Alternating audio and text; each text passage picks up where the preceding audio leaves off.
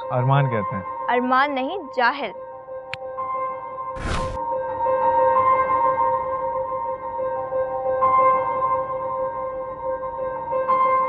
हाय। अब कौन? आप शायद अभी भी गुस्से में हैं। क्या मतलब है और आप हैं कौन? आपने यकीनन मुझे नहीं पहचाना।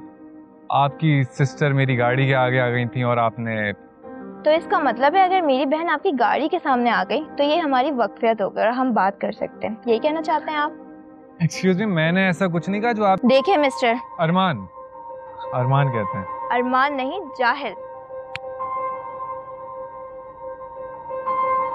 अरे ये